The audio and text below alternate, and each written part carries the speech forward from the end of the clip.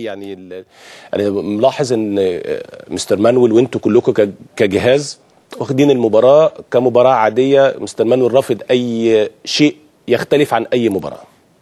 آه، محمد إحنا يعني لحد دلوقتي ما فيش أي حاجة حصلت غير إن إحنا عوضنا فرق النقط وتقدمنا ببعض النقط ولكن الدوري لسه في الملعب بنكافح عشان آه، يعني ربنا يكرمنا. وأنت عارف يعني ده طريقتنا في الشغل ما فيش حاجة حصلت خالص غير لما يبقى فرق النقط. اللي عندنا آه، أكتر من من عدد المباريات عدد المتبقيه المباريات المتبقية. تمام كده. آه، وده اللي إحنا موصلينه للاعيبتنا وموصلينه لكل الأجواء الأجواء اللي في في ال- في التدريبات. هي دي ان إحنا بنكافح وما زلنا نكافح لأن ما فيش أي حاجة اتغيرت غير إن إحنا يعني طبعا عندنا معنويات كويسة الحمد لله. آه، نتيجة لأن كل المباريات اللي, اللي إحنا لعبناها في الفترة الأخيرة كان فيها أداء وكان فيها آه، نتيجة الحمد لله. هل كابتن ناجي ال ال ال ال بالنسبة للتدريبات واضح الحماس كبير جدا بين اللعيبة أكيد الكل عايز يشارك. يعني طمنا كده على ال والله والله محمد ده, ده يعني عايز يعني من خلال برنامجك أشكر اللعيبة لأن منتهى الاحترافية ومنتهى الالتزام ومنتهى الحرص على يعني يعني أداء واجباتهم بشكل جيد جدا بيسمعوا كلام آه، جهاز مستر مانويل آه، يعني عامل آه، جو أسري آه، غير عادي. أتمنى إن شاء الله إن يعني ربنا سبحانه وتعالى يعني زي ما أنت بتقول إن ربنا ما بيجيبش التوفيق لأي حد ربنا بيجيب التوفيق للي يستحقه يعني. وأنا شايف إن اللعيبة دي مجموعة يعني آه، ربنا يحفظهم من كل سوء لأن هم فعلا على على قدر كبير من تحمل المسؤولية. أتمنى لهم إن شاء الله ربنا يوفقهم ويكمل لهم على خير إن شاء الله محمد. كابتن ناجي بعد مباراة الإسماعيلي أنا قريت لك تصريح قلت أنا بس أنا بقول لحضرتك السؤال ده عشان آه، تطمن جمهور النادي الأهلي إن يعني الخطأين اللي حصلوا من أحمد عادل دي حاجة طبيعية جدا وبتحدث في كرة القدم فمفيش داعي إن إحنا نضخم الأمور يعني مفيش داعي إن إحنا وأنا أنا بتكلم على عادل بشكل آه، خاص جدا. آه، هات يعني مش عايزين نبص على آخر لقطة. بالظبط. يعني إحنا أحمد عادل بقاله من ساعة ما لعب لحد الماتش اللي فات بالظبط. آه، من المتميزين في في الملعب يعني. من من ساعة ماتش الزمالك في الدور الأول يا كابتن. ونال ثناء غير عادي من كل الناس. والناس آه، السيف اللي عمل الإنقاذ اللي عمله آه، شبهوه بالحضري ودروجبا وعنده انقاذات انفرادات وعنده شغل جامد جدا عمله أحمد عادل.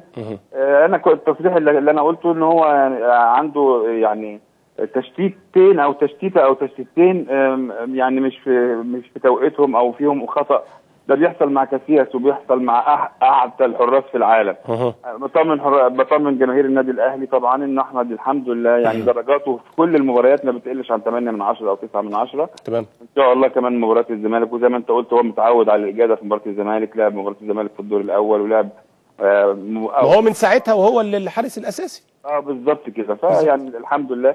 وأنا طبعا آه، ثقتي فيه كبيرة جدا جدا جدا إنه إن شاء الله يكون هو مع مع كل اللاعبين والجهاز والنادي. إن شاء الله. آه، إن شاء الله يكونوا يعني يهدوا جماهير النادي الأهلي ويهدوا النادي إن شاء الله بطوله الدوري بإذن الله. بإذن الله. كابتن ناجي آه، كانت لفتة طيبة جدا آه، منكم كجهاز ومن الكابتن أحمد ناجي إن رمزي يكون موجود في التدريبات وانه يتدرب مع الفريق وكان مستر مانويل قال له أنت في بيتك. فكان يعني أعتقد إنها لفتة طيبة جدا جدا لإنسان محترم اسمه رمزي صالح بغض النظر عن إنه كان لعيب في النادي الأهلي لكن هو إنسان محترم ومؤدب جدا يعني.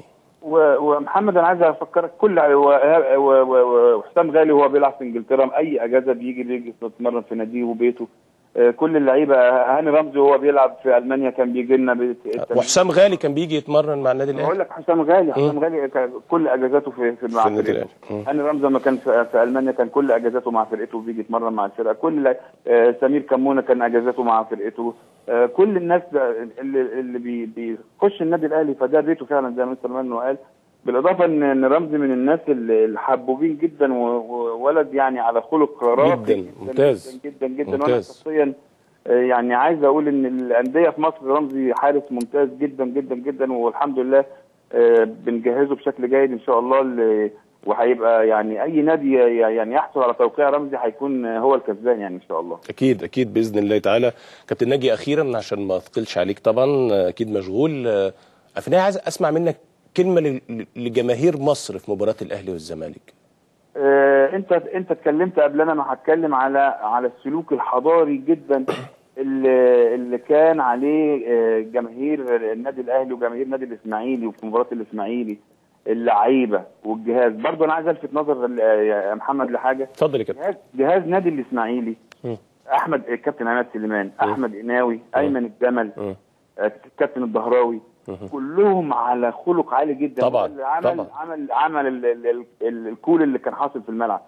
يعني ما كانش في حد واقف على الخط عمال يسخن ولا عمال يعمل الحاجات اللي هي بت- بت- بتبقى مردودها مش كويس على الملعب وعلى الجماهير وعلى المدرجات.